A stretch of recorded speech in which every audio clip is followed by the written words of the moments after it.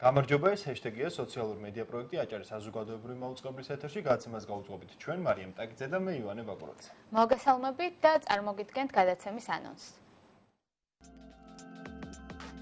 რა გზა უნდა გაიაროს საქართველოს ევროპული პერსპექტივიდან კანდიდატის სტატუსამდე და რა არის აუცილებელი იმისთვის, რომ პოლიტიკური კლასი ამ მიზნის ირგვლივ გაერთიანდეს? გიორგი კანაშვილი, კონფლიქტოლოგი, ისაუბრებს საკითხის დეტალებზე. ერთი წელი 5 ივლისის მოვლენებიდან. მედიის თავისუფლების გაუარესებული მდგომარეობა თავდასხმა ჟურნალისტებზე და სახელმწიფოს სუსტი რეაგირება ორგანიზებული ძალადობის წინააღმდეგ. ციალა ქათამიძე სახალხო დამცველის ყოფილი წარმომადგენელი აჭარაში სტუმრად ჰეშტეგში. ფინეთი და შვედეთი ნატოში. რა დათმეს, რა მიიღეს და რა ტიპის იმედს გვაძლევს ნატოში მათი დაჩქარებულ რეჟიმში გაწევრიანების ფაქტი. გიორგი გობრონიძესთან საერთაშორისო ურთიერთობების ექსპერტთან ერთად მიმოვიხილავთ თემას.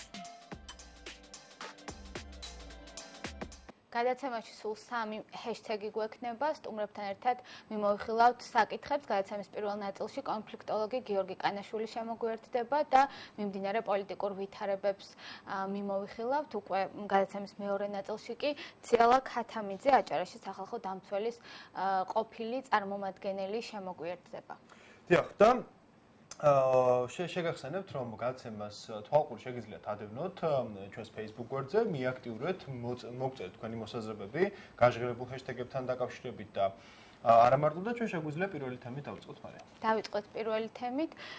ჩვენ რომ ჩავერთოთ სამხედრო კონფლიქტში, ამ შემთხვევაში გვაქვს გარანტირებული კანდიდატის სტატუსი დეკემბერში. ეს არის მართველი პარტიის თავმჯდომარე მირაკლი კობახიძემ გუშინ განაცხადა ეს, ხოლო დღეს უკვე გვამცნო, რომ ქართული ოცნება მზადა 2%-ამდე დაწიოს ბარიერი, თუ საქართველოს ევროკავშირის კანდიდატის სტატუსს მიიღებს.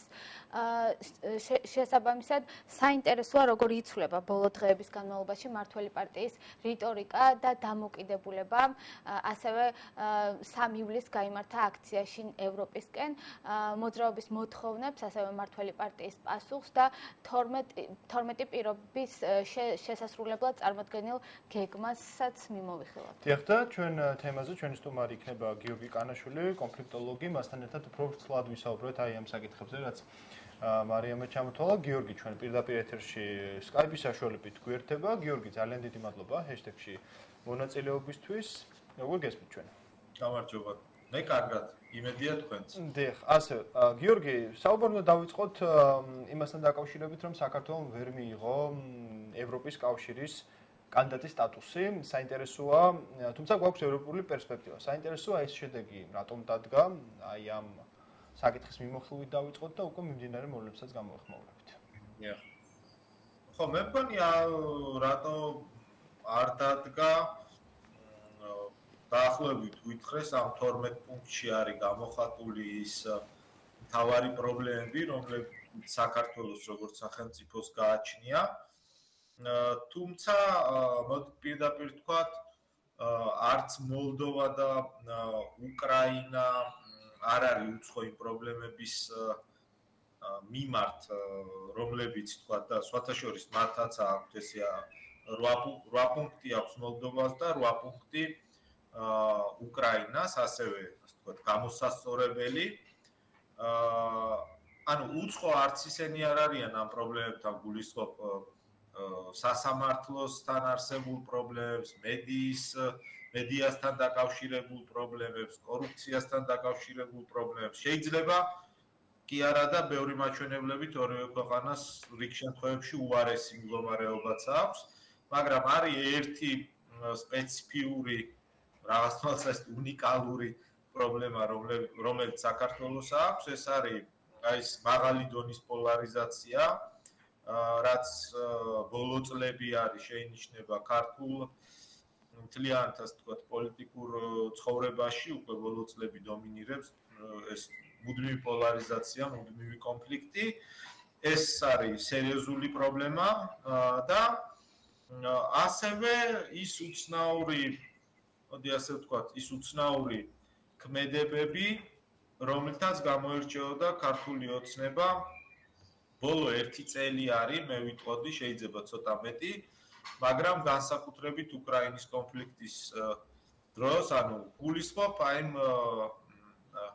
რიტორიკას, რომელიც აქვს ქართულ ოცნებას ჩვენ პარტნიორებთან მიმართებაში, მუდმივი თავდასხმები და შეპასუხებები და რაღაცეების ინიცირება ყველა პარტნიორთან მიმართებაში ჩვენ ელჩებიდან დაწყებული, რომლებიც უშუალოდ საქართველოსში არიან, ასევე ევროპარლამენტარების მიმართ და ფაქტიურად ნებისმიერი შენიშვნა, რომელიც მოდის ხოლმე აა თქვათ დასავლეთიდან გიორგი ერთგვარად დაიწყეთ საუბარი ჩვენი შემდეგი კითხვა სწორედ ამას შეეხება. თუ როგორ იცვლება ასე ვთქვათ განცხადებები და ტონი მართველი პარტიიდან. თქვენ აღნიშნეთ ბოლო ერთი წლის განმავლობაში იყო განსაკუთრებით საყურადღებო. მას შემდეგ უკვე მას შემდეგ რაც ასე ვთქვათ ევროპარლამენტის გადაწყვეტილება გახდა ცნობილი რა შეიცვალა ჩვენ ხედავთ მართველი პარტიის კონკრეტული წარმომადგენლებისგან. ხშირად ურთიერთსაპირისპირო ან განსხვავებულ განცხადებებს, მაგალითად დღეს ირაკლი კობახიძის განცხადება, როდესაც გვამცნო, რომ 5%-დან 2%-ამდე არიან მზად ჩამოიყვანონ საარჩევნო პროცენტი დაიწიოს, ასე ვთქვათ, რომ მიმოვიხილოთ კონკრეტულად ამ ინიციატივის შესახებ რას ფიქრობთ ერთი ერთის მხრივ, რამდენად შეუწყობს ის, ასე ვთქვათ, პოლარიზაციის შემცირებას და ასევე საინტერესოა ის ფაქტი, რომ უკვე ორი კვირა გასული ევროკავშირის განცხადებიდან კანდიდატის სტატუსის მიინჭებასთან დაკავშირებით. თქვენი აზრით რამდენად იყო ერთგვარად ნება როგორც მართველი პარტიიდან ასევე ოპოზიციიდან რომ უკვე მოქმედებაზე და კონკრეტულ სამოქმედო გეგმაზე შეთანხმებულიყვნენ და დაწყებულიყო დისკუსია? მადლობა კითხვისთვის. აა იცით რა ძალიან მე ჩემს უცნაური იყო დღევანდელი ეს განცხადება, რაღაცა ვაჭრობას გავდა და თითქოს საერთოდ იქნება ისეთი შთაბეჭდილება, რომ ევროკავშირი ეხვეწება საქართველოს ასე ვთქვათ, მიგვიღეთ საქართველოსშიო და არა საქართველოს ევროკავშირს რო კანდიდატობის სტატუსი მოგვანიჭეთო, სრულიად ასე ვთქვათ, უსაფუძვლო და გაუგებარი არის ეს ვაჭრობა მიგვიღეთ და დავწევთ პროცენტ, უკაცრავად პროცენტს კი არა, რა თქო, იმას 2%-იანს გავხდით. არ ამგონია რომ ეს სწორი მიდგომა იყოს და ზოგადად აი თქვენ ბძანეთ რომ ორი კვირა გავიდაო, დიახ, დაახლოებით ეს პერიოდი გავიდა და გახსოვთ რომ ქართული ოცნებისგან თითქოს წამოვიდა ნაბიჯები, ეს ბოლო დღეები არის. იმასთან დაკავშირებით, რომ უნდა მოხდეს დეპოლარიზაცია, აი შევქმნათ სამუშაო, თქვათ, კომისიები და ყველა, თქვათ, არ ვიცი 12 კომისია არ ამგონია შეიქმნას, მაგრამ რაღაც რაოდენობის კომისიები შეიქმნება, რომლებიც ეტაპობრივად გაივლიან იმ საკითხებს, რომლებიც არის პრობლემური. ხო, ანუ დაახლოებით ესეთი პოზიტიური თითქოს და აა დღის წესრიგი შემოგთავაზა აა თქვათ, ხელისუფლება მაგრამ გუშინ დღეს უკვე დაიწყო ერთი ეს უცნაური შემოთავაზება, მეორე არანაკლებ უცნაური ან და უფრო სწორედ ხა ეს რიტორიკა საერთოდ უნდა გაეკროთ ხა რომ ომში თუ ჩავერთვებით აუცილებლად მივიღებთ და ასე შემდეგ. ანუ ფაქტიურად ქართული ოცნება ყობახიძის სახით ამბობს, რომ დასავლეთი ჩვენ მოგცემს ამ სტატუსს თუ ჩვენ აა ომის მონაწილეები გავხდეთ. გასაგებია, რომ ეს უარყოფითად მოქმედებს ქართული საზოგადოების იმ ნაწილზე, ვისაც ეს ჯერა. ანუ ფაქტიურად მიდის ევროკავშირის გაშავება აქედან ამ ამ ამ რიტორიკით. ამიტომ პირდაპირ გეტყვით, მიუხედავად იმისა, რომ რაღაცა პირველ და დღემდე ფიქრობ, რომ ქართული ოპოზიციის მნიშვნელოვანი ნაწილის მიდგომა თავიდან, რომ აი ჩვენ არ ჩავერთვებით კომისიებში და ასე შემდეგ. ფიქრობ, რომ არასწორი იყო.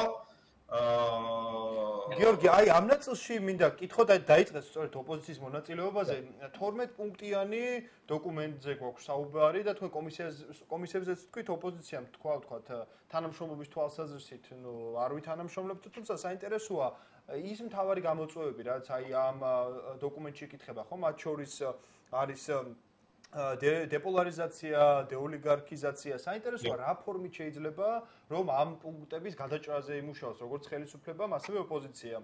თუმცა ცალკე რაღაც კუთხით რაც იყო საუბარი, ამას ექნება ტექნიკური ნაწილით განვიხილავთ თუ პოლიტიკური ნაწილით? ან რაღაც პრობლემა არის და შეგვიძლია თუნდაც საკანონმდებლო დონ ბაზაზე გადავჭრათ ეს პრობლემა, თუ აქ ხოლმე მხოლოდ პოლიტიკური ნებადებს და თქვა პოლიტიკური საკითხი დევს და არა რაღაც კონკრეტული დეკლარირებული თქვა მიმართებები. დიახ.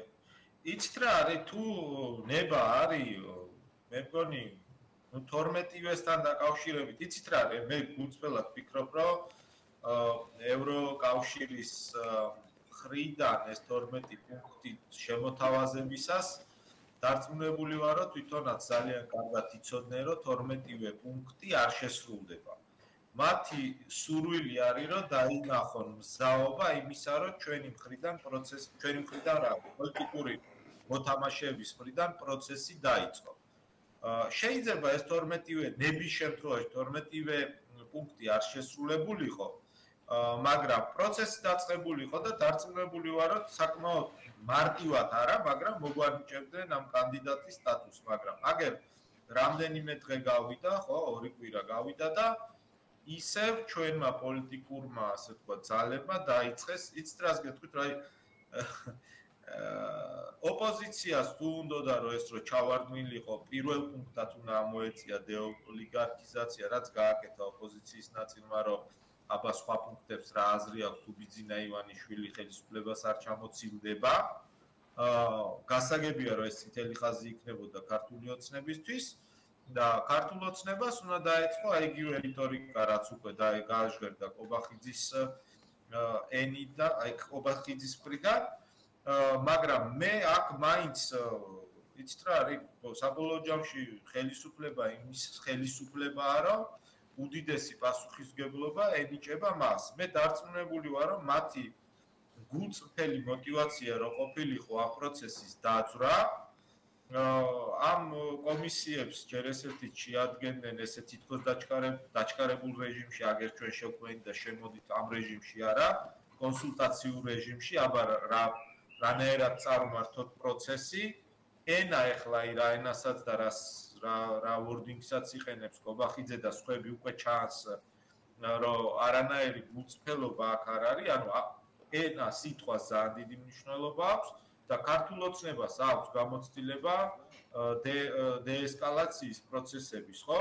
გახსოვთ ალბათ 2012 წელს, როდესაც ხელისუფლებაში მოვიდა ქართული ოცნება, იყო ერთ-ერთი თავარი პოლიტიკური, საგარეო პოლიტიკური გზავნილი და ამას ქართული მოსახლეობის დიდი ნაწილი უჭერდა მხარს რუსეთთან ურთიერთობების დეესკალაციას და ნორმალიზაციას და ძალიან კარგად მოახერხეს ასე ვთქვათ, ამ გრადუსის ქვემოთ დაწევა.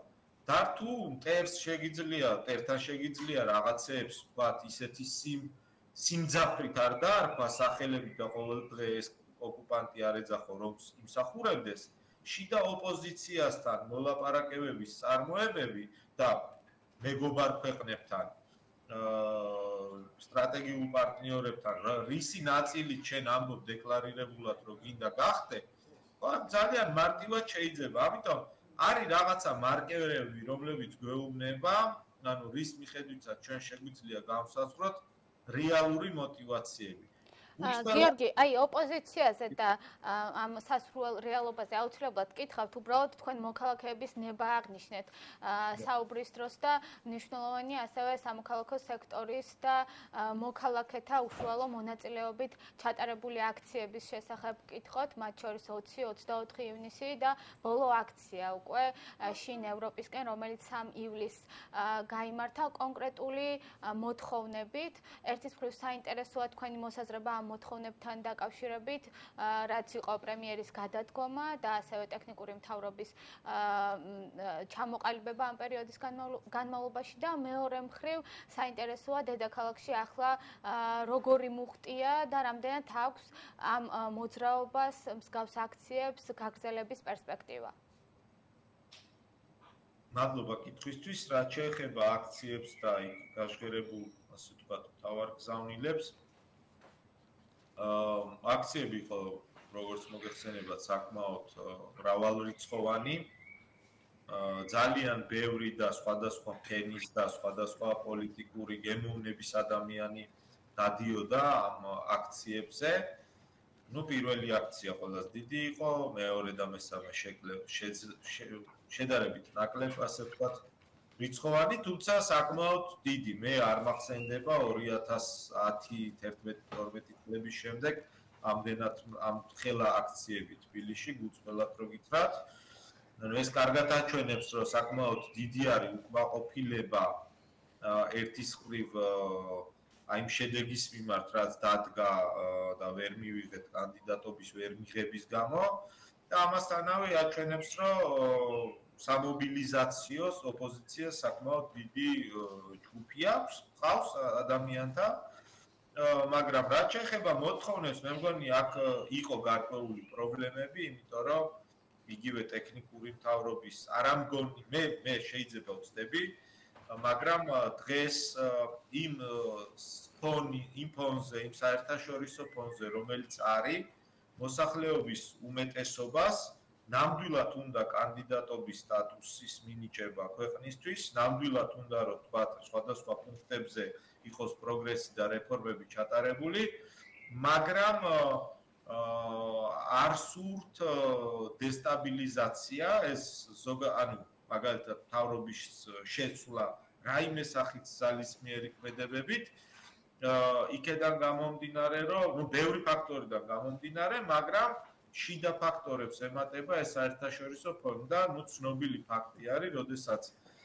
ქვეყნის სიახლოვეში არის ომი, მაშინ ხელისუფლების მხარდაჭერთა რაოდენობა, რეალურად სტაბილურობის მხარდაჭერთა რაოდენობა იზრდება ხოლმე. ამიტომ ჩემი აზრით ის მოთხოვნა ტექნიკურ თავრობასთან მიმართებაში აღქმული იყო როგორც ხელისუფლების შეცვლის მცდელობა, რომელიც გამოიწვევდა ქვეყანაში დესტაბილიზაციას და ამიტომაც ნაკლებად იყო მხარდაჭერილი. ჩემი დიახ, გიორგი, ბოლო შემაჯამებელი კითხვა იქნება, ახსენეთ ჩვენ ამ შემთხვევაში მეორე ნაწილი ოპოზიციის საქმიანობის, თქვენ დასაწყისში ალბათში ამბობდით, რომ ამ 12 პუნქტთან 12 პუნქტის შესრულების საკითხი ძალიან მნიშვნელოვანია და ყველანი ვთანხმდებით, ჩვენი ქვეყნის უმრავლესობის არჩევანი სწორედ არის ევროპის კავშირი, ნატო. ამ შემთხვევაში საინტერესოა ოპოზიციამ რა უნდა გააკეთოს იმისთვის, რომ ეს 12 პუნქტი შესრულდეს ერთი მხრივ და საინტერესოა რამდენად მნიშვნელოვანია,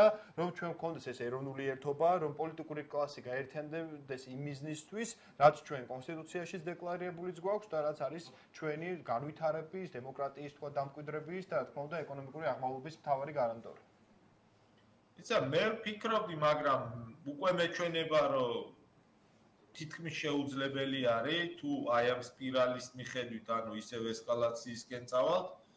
მე მეჩვენებოდა, რომ ოპოზიციას უნდა ესარგებლა სიტუაციით, ყოფილიყო მაქსიმალურად კონსტრუქციული ერთის მხრივ, ეთქვა, რომ ამ საკითხებზე ჩვენ მზად ვართ მუშაობისთვის.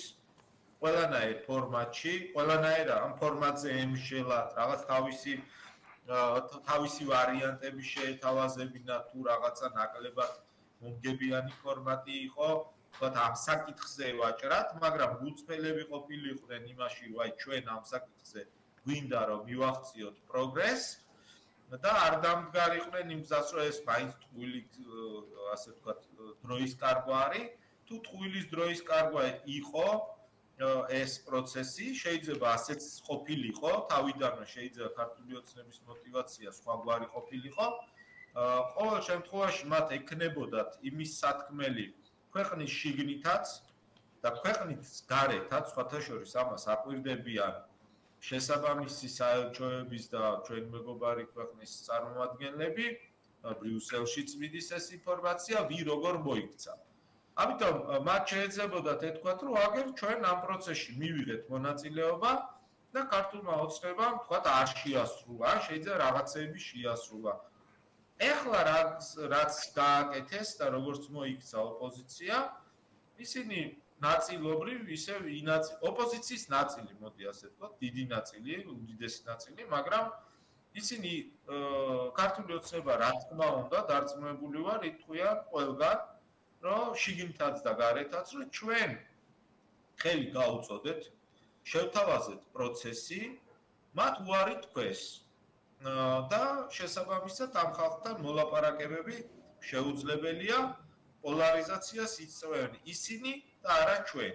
რატო აძლევენ ამის საშუა ამის თქმის საშუალებას ხელისუფლებას? მე გულწრფელად გეუბნევით, რომ არ მესმის და როდესაც მოყავთ არგუმენტი ოპოზიციას, რომ დრასაკარგი დრო არ არის, აა მაშინ უნდა გითხრან დროს რო არ კარგავენ, ამ დროს რანაირად იხენებენ.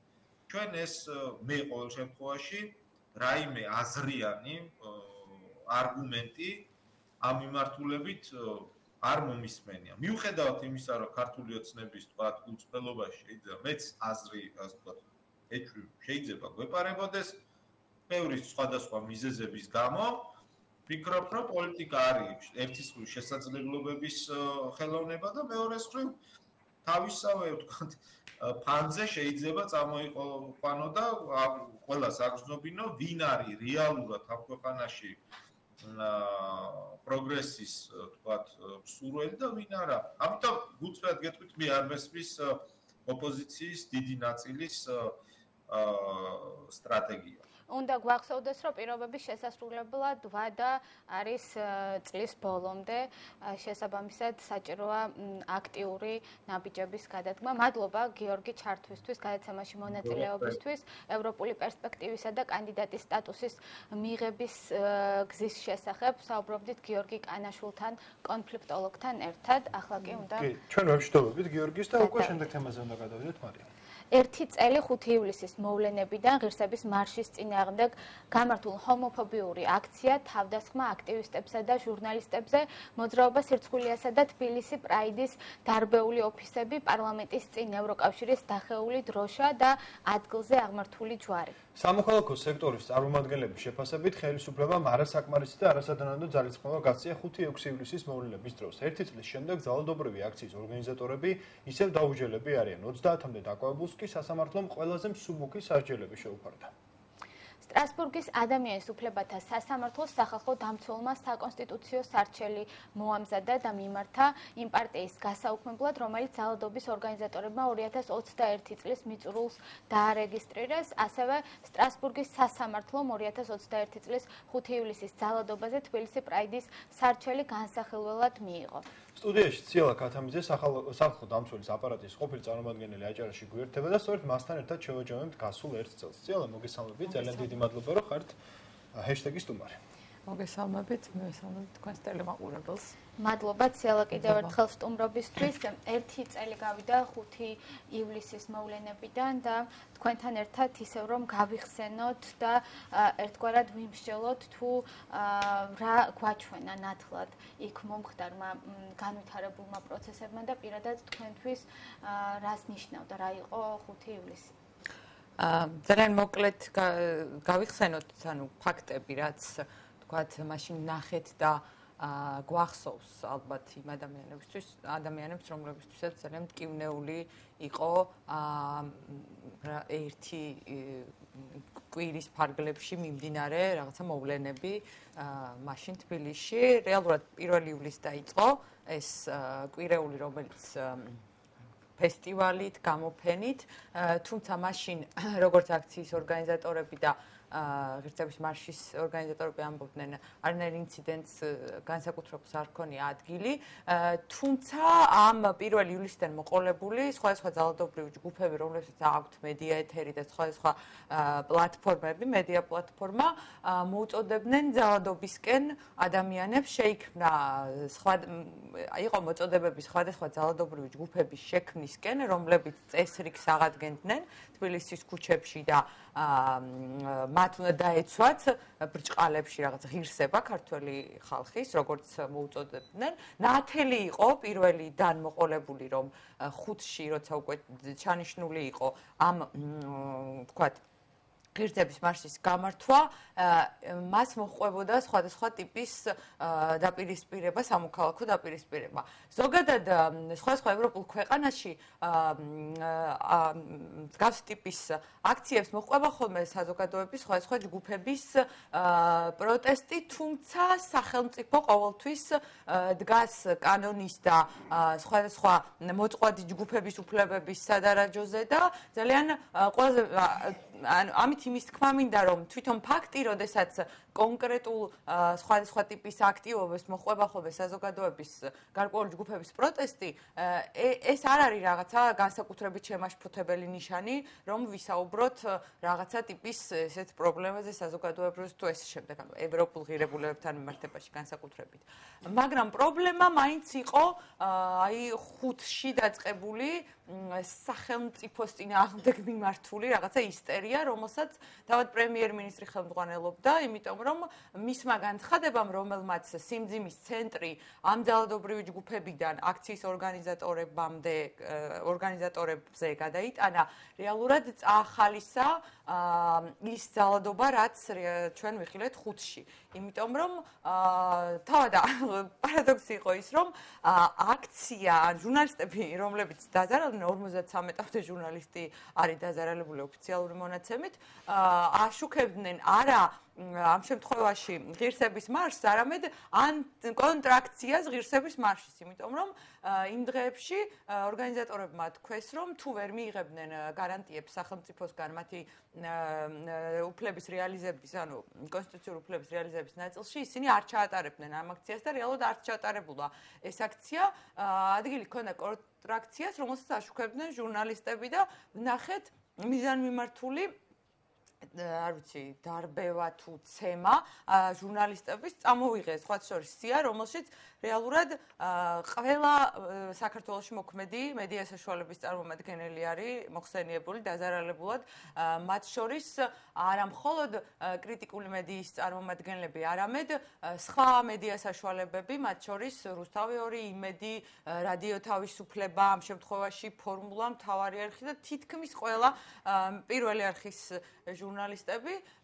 და რეალურად ჩვენ ვნახეთ ძალადობრივი ჯგუფების მიერ ქალაქის მთავარ მოედანზე ჩაოლებრივ სადამსჯელო ოპერაცია, რომელიც იქნა ახალისებული ხელისუფლების უმაღლესი წარმომადგენლების მიერ. დიახ, აქ ძალიან საინტერესო ამბავი არის შემდეგი, ჩვენ საუბრობდით თვითონ იმ ადამიანებზე, რომლებიც აქციაში მონაწილეობდნენ, მაგრამ არ დაგვაუწყდეს, რომ ეს აქცია იყო ორგანიზებული, ორგანიზატორების და ამ აქციის შემოქმედების ესე ვთქვათ, დაჟა დღემდე არ ხორციელდება და ჩვენ შეგვიძლია გავიხსენოთ 2022 წლის 24 ივნისის განცხადება, როდის მართული პარტიის თავმჯდომარე ირაკი კობახიძემ გააკეთა ეს განცხადება და თქვა რომ სამართალ დამცავებს არ აქვს საკმარისი მტკიცებულება ალტინფოს ლიდერების დასაკავებლად, თუმცა ამის აპირისპიროთ ჩვენ ხელმისაწვდომი არაერთი ვიდეო კადრი, სადაც ძალიან კარგად ჩანს დაგეგვა, ორგანიზება, გამართვისკენ მოწოდება, საინტერესო მართული ძალის მხრიდან მსგავსი დამოკიდებულება, მსგავსი განცხადებები,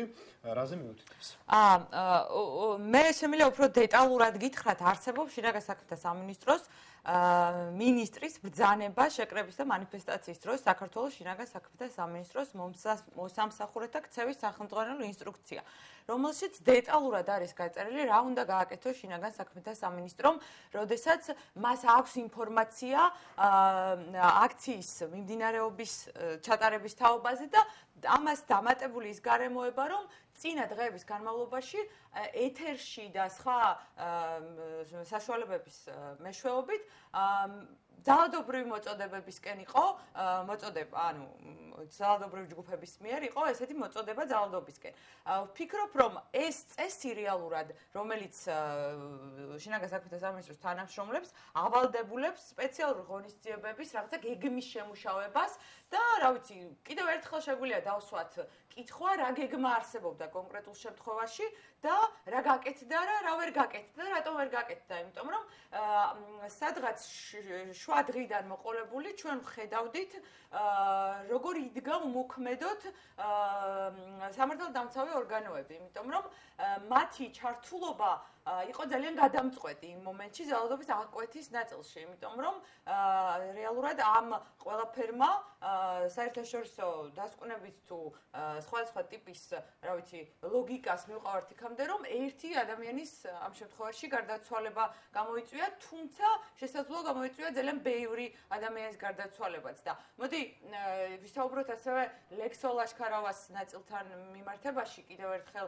სამძიმარი ალბათ უნდა გამოუცხადოთ გარდაცვლის ოჯახს და ზოგადად მედია საზოგადოებას გამომდინარე იქედან რომ ჩვენს ქვეყანაში და არამხოლოდ არამხოლოდ ევროპულ ქვეყნებში ჩვენს ქვეყანაშიც მათ შორის ჟურნალისტის მიმართ განხორციელებული ძალადობა განსაკუთრებით მძიმე კატეგორიაში შედის სისხლის სამართლის დანაშაულებების ნაწილში და ამ ნაწილშიც ჩვენ შეგვიძლია დავაკვირდეთ იმ მოვლენებს, სადაც სახელმწიფო არათუ მოქმედოდ იყო, არამედ მიზანმიმართულად არღვევდა დაწამქეზებელიც იყო კონკრეტულ შემთხვევაში, იმიტომ რომ არა მხოლოდ სამოქალაქო ორგანიზაციების, თავად სახელმწიფო ინსპექტორის მიერ იქნა შინაგან საქმეთა სამინისტროს ბრალეულობა გამოკვეთილი, როდესაც გაავრცელეს სხვადასხვა ტიპის კადრები, რომელთან რომელსაც არანაირი კავშირი არ ჰქონდა გარდაცვალებასთან, მაშინ როცა რაღაცა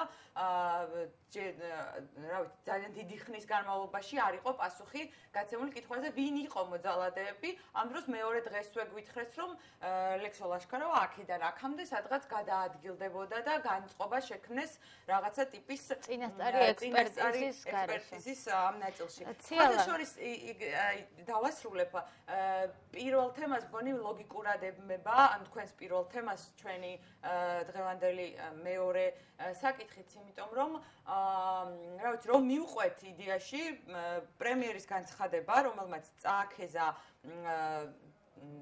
ლოგიკურად რომ ისწავლოთ ძალადობრივი ჯგუფები და უფრო შეაგულიანა პლუს ამას უმოქმედობა შინაგან საქმეთა სამინისტროს რომელიც კადრებზე ჩანს დასაწყისში რაღაცა ეტაპის მე მაშინ არ მახსოვს რა სტატუსით იყო ბატონი ირაკლი კობახიძე მაგრამ ისი განცხადება როცა იუნესკომ ლექსო ლაშქარავა შეიყვანა გარდაცვლილ თავის სამსახურებრივი მოვალეობის დროს მოკლუ ჟურნალისტთა სიაში მაშინ თქვა რომ ეს არის ფეიქ ნიუსი რომელსაც ესეთ ავტორიტეტულ ორგანიზაციას კი ვიცით ვინც აწუდისო მაგრამ ნუ ეჭქვეშ დააყენა ის საკითხი, რომელიც თქვათ, ამაზე ვთაუბრობთ, პერსონალურ მონაცემთა ინსპექტორის დასკვნა, შემდგომ ამ სამსახურის გაუქმება აა და რეალურად ჩვენ შეგვიძლია ვთქვათ, რომ ეს არის არამხოლოდ ერთი რომელიმე პრაიდის ან რომელიმე უმცირესობის ან რომელიმე ჯგუფის წინააღმდეგ მიმართული დანაშაული რეალურად არის სახელმწიფოს ევროპული არჩევანის წინააღმდეგ მიმართული დანაშაული, იმიტომ რომ ალბათ არ დასიზმრებია ევროკომისიის ევროკომისიას, როცა რეკომენდაციებში პირდაპირ მიუთითა, რომ ვერ მივიღებთ ევროკავშირის წევრობის კანდიდატის სტატუსს, თუ ამ შემთხვევაში არ მოხდება მოწყვლადი ჯგუფების დაცვა და აი პირდაპირ სიტყვა სიტყვით შემიძლია წავიკითხო მოძალადეთა და ძალადობის ორგანიზატორთა უფრო შედეგიანი მართლმსაჯულების განხორციელება. ანუ ძალიან მიზეს შედეგობრივი ყველა არსებობს ამ 5 ივლისსა და ჩვენს ევროპულ პერსპექტივას შორის, იმიტომ რომ ყველა რეკომენდაცია, რომელიც უბრალოდ რეკომენდაციის ყოველი პუნქტი ეფუძნება კონკრეტულ ისტორიას, რომელსაც კონკრეტული შედეგი მოხდა და რომელზეც ალბათ პასუხისმგებლობა ამ კონკრეტულ შემთხვევაში უნდა აიღოს. პირველ რიგში პრემიერ-მინისტრმა, შემდგომ შინაგან საქმეთა სამინისტრომ და პარლამენტმაც თუნდაც იმ ნაწილში, რომ ამ რაღაცა სპეცოპერაციის მონაწილე გახდა სახელმწიფო დაცვის ინსპექტორის სამსახურის გაუქმებით, იმიტომ რომ რაღაცა ერთ-ერთი სადამსჯელო ალბათ მიზანიც ამ სამსახურის ეს დასკვნაც იყო, იმიტომ რომ ამ დასკვნაში რეალურად კიდევ ერთხელ სახელმწიფო ინსტიტუციამ გაამყარა სამოქალაქო საზოგადოების სახალხო დამცველის სამსახურის საერთაშორისო ორგანიზაციების დასკვნა, რომ ეს არ იყო მხოლოდ და მხოლოდ კონკრეტული ძალადობრივი ჯგუფების მიერ განხორციელებული დანაშაული, ეს იყო სახელმწიფოს მხრიდან თავისი პოზიტიური უფლებამოსილების არ შესრულების შედეგად ჩადენილი დანაშაული. ციალა თქვენ ძალიან რთულად მოგვიყევით ასე ვთქვათ და წარმოგვიდგინეთ თუ რა კავშირი არსებობს ამ კონკრეტულ მოვლენას და სხვა მოვლენებს შორის და შესაბამისად ძალიან თემატური და ლოგიკური იქნება კითხვა. ჩვენ კონკრეტულად 5-6 ივლისის მოვლენების დროს როგორც რაფორმითაც ვიხილეთ კონტრაქცია ხშირად გვინახავს ასევე გასული წლების განმავლობაში რომ მიმოვიხილოთ ოპოზიციური თუ სხვა საპროტესტო სამოქალაქო ტიპის აქციების, მასშტაბური აქციების პარალელურად, სწორედ იგეგმებოდა ალტინფოს კონსერვატული მოძრაობების თუ ასე ვთქვათ მარშის მიერ დაორგანიზებული კონტრაქციების მონაწილე იგეგმებოდა აქციები, სადაც ხშირად ცხადად იყო წარმოქმნილი მათ მიერ ჩადენილი დანაშაულებები, იგივე სატელევიზიო კადრების დროს თუ სხვა ფაქტებით, თუმცა არც ის აქციები სრულდებოდა ორგანიზატორების დასჭით, არც ეს 5-6 ივლისის მნიშვნელოვანი მოვლენები დასრულებულა ორგანიზატორების დასჭით. რა კავშირს რა მას ხედავთ ამ გასული წლების აქციებს, მოვლენებს შორის და კონკრეტულად ამ ფაქტს შორის ხომ არ არის ხელისუფლება ერთგვარად დავალებული ამ ძალადობრივი ჯგუფების წინაშე როგორი იქნება თქვენი მოსაზრება არ ვიცი ალბათ ამ კითხვაზე პასუხი უნდა გასცეს თითოეულმა იმ მოქალაქემ, რომელსაც აქ შესაძლებლობა გაიცნოს ყველა ტიპის ინფორმაციას, რომელიც ვრცელდება სხვადასხვა მიმართულებით და მათ შორის დღეს ხელისუფლებაში მყოფი პარტიის ამომრჩეველმაც, იმიტომ რომ მათთან მექნება თავი კითხვა წინა ნაწილში რა ლოგიკური ბმაზეც ვისაუბრეთ? პრემიერ მინისტრის განცხადებებიდან დაწყებული დამთავრებული შინაგან საქმეთა სამინისტროს ამ კონკრეტულ შემთხვევაში ქმედებით არის თუ არა ჩდება თუ არა ლოგიკური კითხვა და თუ აქ ამ კითხვას ლეგიტიმური საფუძველი რომ დავსვათ რატომ ახალისებს ხელისუფლება? რაში სჭირდება მსგავსი ტიპის ძალადობრივი ჯგუფების ახალისება?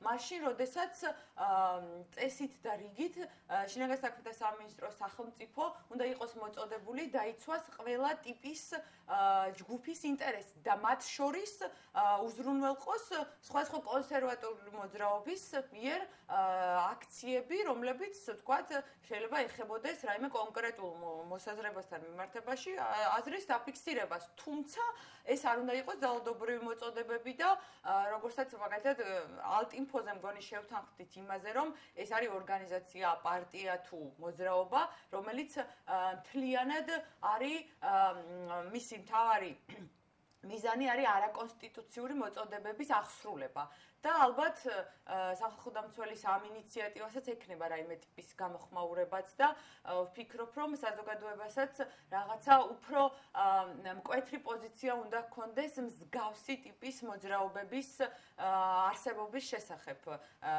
ქვეყანაში იმიტომ რომ კონსტიტუციის საფუძველზე საქართველოს მოსახლეობა მოქალაქეები ვარ შეთანხმებული იმაზე, რომ მსგავსი ტიპის მოწოდებების მქონე ორგანიზაცია იქნება პარტია თუ მოქალაქეები, უნდა იყვნენ კანონის შესაბამისად დასჯილი და საბედნიეროდ გვაქვს საკანონმდებლო ბაზა იმისთვის, რომ თავარი არის პოლიტიკური ნება, სახელი დაერქვას ყველაფერს, იმიტომ რომ ძალიან რიგ საკითხებში მნიშვნელოვანია პოლიტიკური ნება, ერთ-ერთი თორე გადაწყვეტილებები, რაც არის და კანონიაც ახსენით ახსულდეს.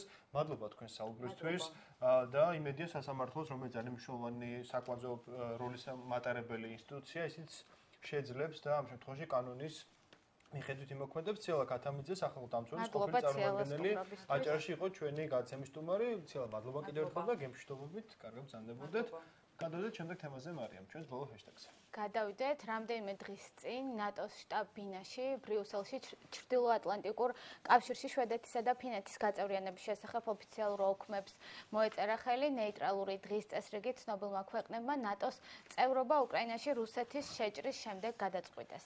ნატოში გაწევრიანებისთვის გაწევრიანების გზაზე ფინეთისა და შვედეთისთვის მთავარი დაბრკოლება თურქეთი და ერდოღანის პოზიცია იყო. თუმცა საბოლოოდ ქვეყნებმა შეთანხმებას მიაღწიეს, რა დათმეს, რა მიიღეს და რა ტიპის იმედს გვაძლევს ნატოში ფინეთისა და შვედეთის დაჩქარებულ რეჟიმში გაერთიანების ფაქტი და თურქეთის ფაქტორი. თემას მიმოიხილავთ საერთაშორისო ურთიერთობის ექსპერტთან გიორგი გობროინძესთან, რომელიც ჩვენ Skype-ის საშუალებით გვერდება. გიორგის აღამშვიდობისა, მადლობა განცემაში მონაწილეობისთვის. მოგესალმებით, მადლობა თქვენ მოწვევისთვის. მოგესალმებით გასმაყურებელს. გიორგი, საუბარი უნდა დავიწყოთ სწორედ ამ ბოლო მასშტაბური შეხვედრის შეჯამებით. მიმოხილვით ალიანსის ბოლო სტრატეგიული კონცეფცია 2010 წლით თარიღდება, თუმცა იქ რუსეთი არ არის განხილული დასახელებული როგორც საფრთხე. რა შეიცვალა ახალ 2022 წლის კონცეფციაში, როგორ უყურებს ალიანსი სოფლიოში განვითარებულ მოვლენებს?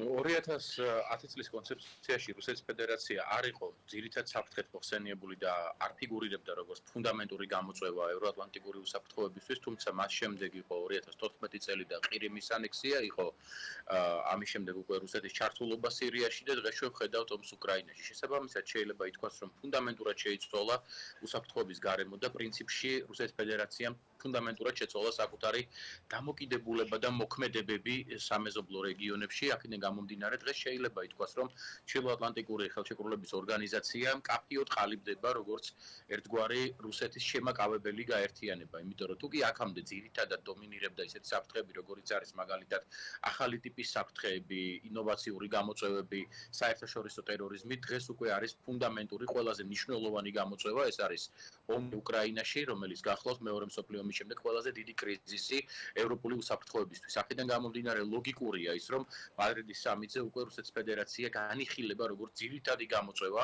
ევროატლანტიკური უსაფრთხოებისთვის. დიახ, გიორგი, ფინეთი და შვედეთის საკითხი რა ძალიან მნიშვნელოვანია. ნატოს უპლებიან წევრობასთან ძალიან ახლოს არიან, ეს მეცხრე რიგით მეცხრე გაფართოება იქნება. საინტერესო თუმცა ჩვენ გვახსოვს წინაპირობები, თურქეთის პოზიციაც. საინტერესოა ამ შემთხვევაში რა დათმო შვედეთმა ფინეთმა იმისთვის, რომ ამ შემთხვევაში თურქეთის დამოკიდებულება შეცვლილიყო და მოკლედ ხარი დაეჭირა მათ გაწევრიანებაზე ნატოში და ასევე საინტერესოა ის პოზიციები რომელიც ჟღერდებოდა მათ გაწევრიანებასთან ამ შემთხვევაში რუსეთის პოზიციებიც რა მივიღეთ დღეს აი ამ სამიტმა რა გვითხრა ამ ამ ორ ქვეყანასთან დაკავშირებით ამ სამეთ პირველ რიგში აჩვენა ის, რომ რუსეთის ფედერაციის სტრატეგიული ამოცანა, რომელიც გახლდათ ომის დაწყების წინ ერთ-ერთი ამოცანა იყო ის, რომ ნატომ უნდა დახიოს უკან აღმოსავლეთ ევროპაში, ნატომ უნდა დაიხიოს იმ საზღვრებზე, სადაც ის იყო 1997 წლამდე, ხომ? ანუ პრაქტიკულად რუსეთის ფედერაცია ცდილობდა საერთაშორისო უსაფრთხოების თვალსაზრისით შეეცვალა 90-იანი წლების შემდგომ დამდგარი სტატუს კო და შეეფერხებინა ნატოს გაფართოების პროცესი და მეტის მიიღწია ერთგვარად რევერსიისათვის აღნიშნული პროცესის, რაც გული გულისხმობ და ძალების შემცირებას აღმოსავლეთ ევროპაში. თუმცა ვხედავთ, რომ შედეგი დადგა ცალსახად კონტრპროდუქტიული რაც იყო მოსალოდნელი კიდეს და 1000 კილომეტრზე მეტ საზღვარს მიიღებს უკვე რუსეთის ფედერაცია ნატოსთან. ეს არის ყველაზე მნიშვნელოვანი მომენტი. რაც შეეხება თურქეთისა და რაც შეეხება თურქეთისა და სკანდინავიის სახელმწიფოების პოზიციებს ამ შემთხვევაში გულისხმობ ფინეთსა და შვედეთს.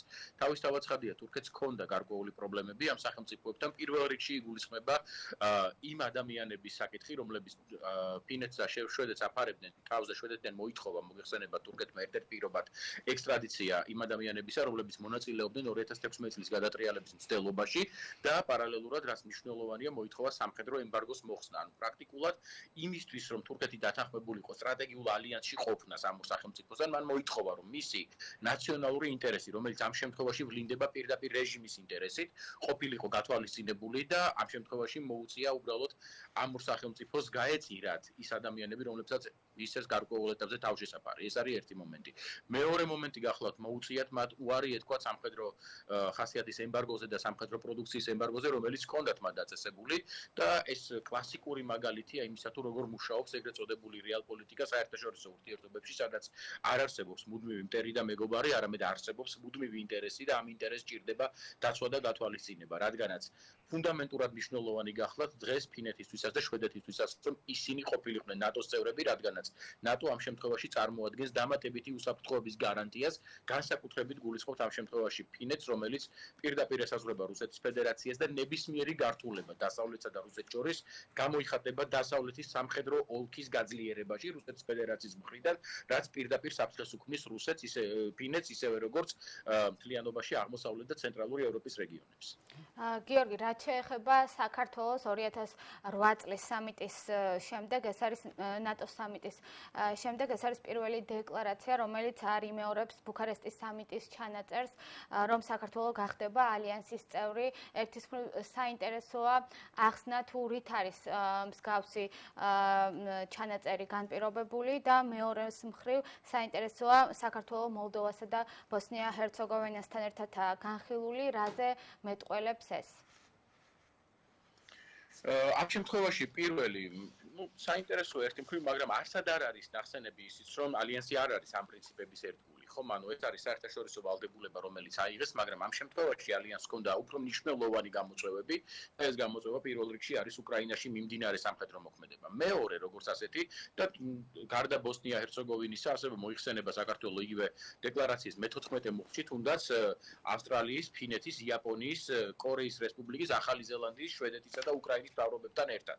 შესაბამისად შეიძლება ითქვას რომ გარკვეულწილად საქართველოს არის ასე ვთქვათ ჩრდილო-ატლანტიკური ხელშეკრულების ორგანიზაცია ორგანიზაციისთვის, აი ამ გლობალური უსაფრთხოების უზრუნველყოფის დიდი ჯაჭვის ნაწილი, რაც ნიშნავს იმას, რომ საქართველოსა და ნატოს პარტნიორობა მოხდა კიდევ უფრო ინტენსიურ ხასიათს შეიძენს მომავალში და განსაკუთრებით მნიშვნელოვანია ამ შემთხვევაში ბოსნია-ჰერცეგოვინასა და მოლდოვასთან მოხსენიება, იმიტომ რომ მოლდოვას ხედავთ, რომ უკრაინაში რუსეთის შეჭრის შემდეგ მნიშვნელოვნად გაეზარდა სამხედრო საფრთხეები და შესაბამისად შეიძლება ითქვას, რომ ბოსნია-ჰერცეგოვინა როგორც ბალკანეთის მოწყვლადი რეგიონი, მოლდოვა როგორც აღმოსავლეთ ევროპის ერთ-ერთი მნიშვნელოვანი მოწყვლადი რეგიონი და საქართველოს როგორც სამხრეთ კავკასიის მოწყვლადი რეგიონი. მოიხსენება სწორედ აი ამ კონტექსტში, სადაც საუბარია და ხაზგასმა არის გაკეთებული იმაზე, რომ მოხდება კიდევ უფრო მეტი თავსებადობის მიღწევა ნატოს ძალებთან ამ სახელმწიფოების თავდაცვის სისტემების და საუბარი არის ამ სახელმწიფოთა მედეგობის გაძლიერებაზე, რათა მოხდეს გარკვეულწილად მათი სუვერენიტეტის შენარჩუნების ხელშეწყობა. ანუ